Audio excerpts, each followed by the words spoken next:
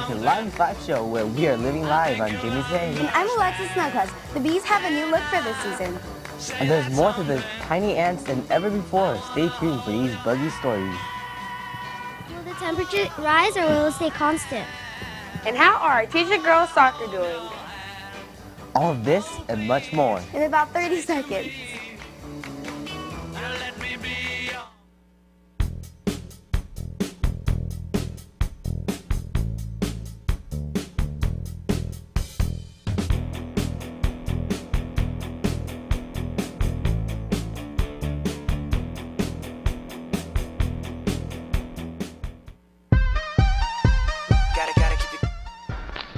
Come to The Valentine time Day Dance. Mission Boy out. comes to the Valentine's Day dance.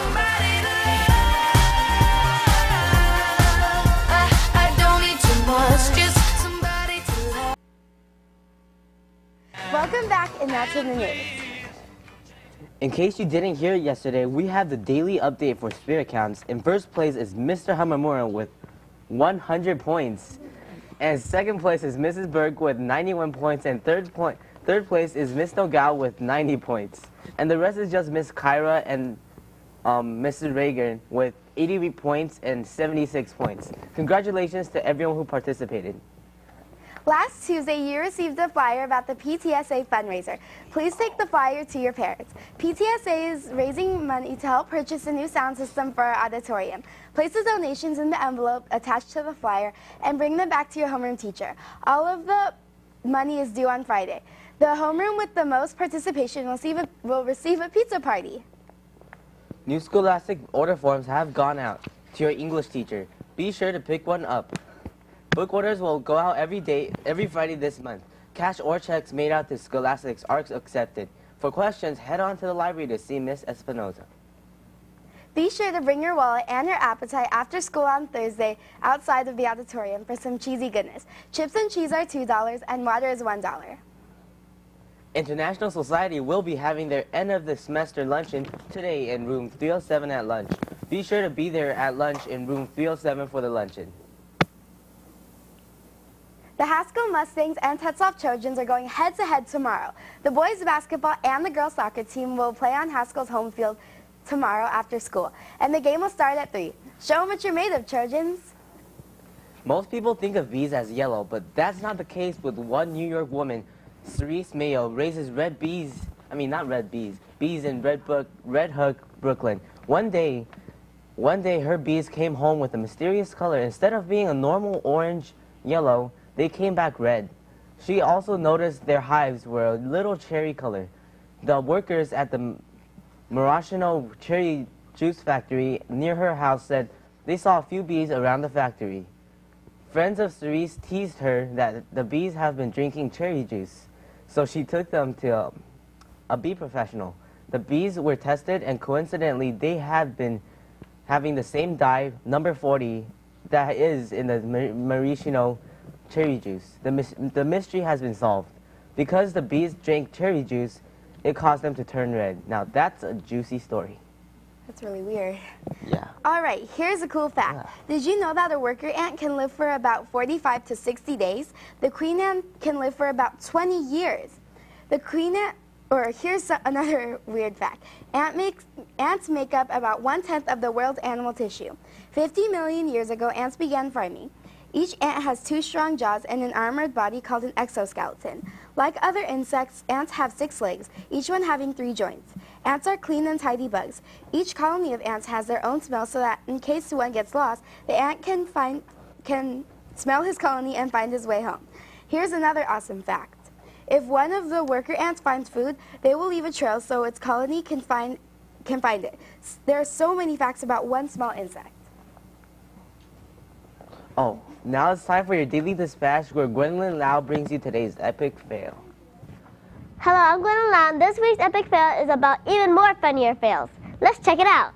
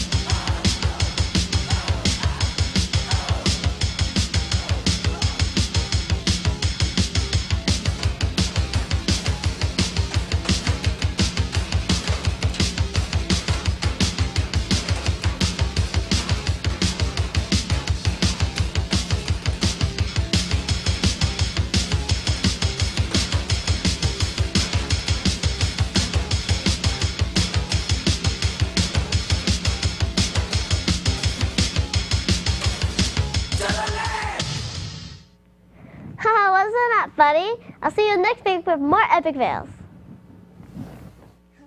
Taking a look at Tetzlaff's calendar, today is the International Society Luncheon.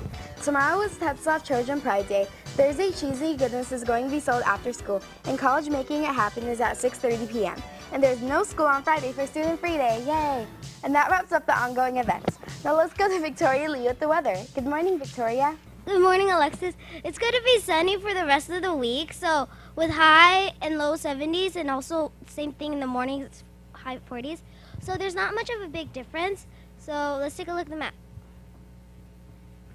West Coast is still sunny, so it's going to be okay because it's like all sunny all along it. And it's going to be still snowing around the Great Lakes and also up in um, Maine, and it's also going to get warmer near um, the Great Lakes too. Well, and d- down in Texas, it's going to be cloudy and all that. Let's take a look at the five-day forecast. It's going to be sunny for the rest of the week with high and low 70s and high 40s in the morning. Let's bring it over to Tristan with the what poll. Thanks, Victoria. Well, for today's walk, we have Darcy. Now let's see what her comments and thoughts are. So, hi, Darcy. Hey. How are you? Good. That's good. Well, could you read the walk poll? Sure. Should students be required to dress out for? PE? Well, here's what some of you guys told us. Yes, some clothes aren't PE appropriate. Another, yeah. Another one you guys said no, changing wastes time. Well, we'll- want to hear all your comments, thoughts, and opinions. Be sure to visit online livein5show.com to vote. Send your comments to webpoll livein5show.com, and if your comments are good, we'll read it on the air. So, so, so Darcy? Um, yeah, I think we should be able to, we should dress out for. PE. Oh, okay. Well, thank you. Um, I'd like to give a shout out to Amanda Kim. I'll give a shout out to Chris, Jordan Morales, Karen Skila, and Isaiah, aka, AKA Cripple. And Gwendolyn Lau. well, thanks. well, that wraps up my time for today. I'm Tristan Tim. You guys have a nice day, and I'll see you guys tomorrow. Back to you, Jimmy.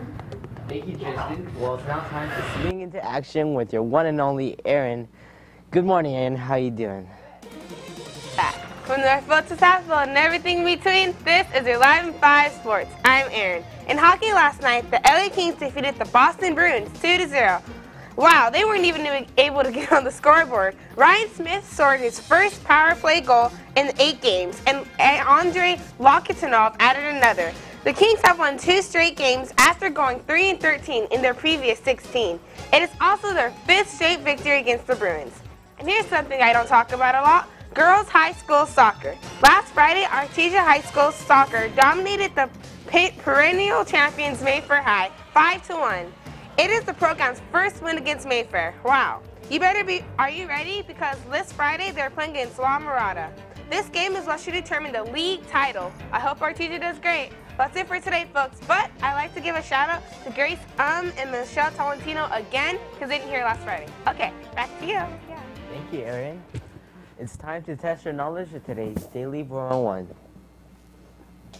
How long does it take for light to travel from the sun to Earth?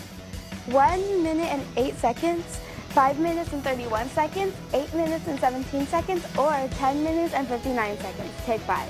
I think, I think it's, I that think long. it's eight. I thought it was like, oh, five seconds or something like that. I think it's, oh, I got it right. Eight minutes? Dude, that's pretty long.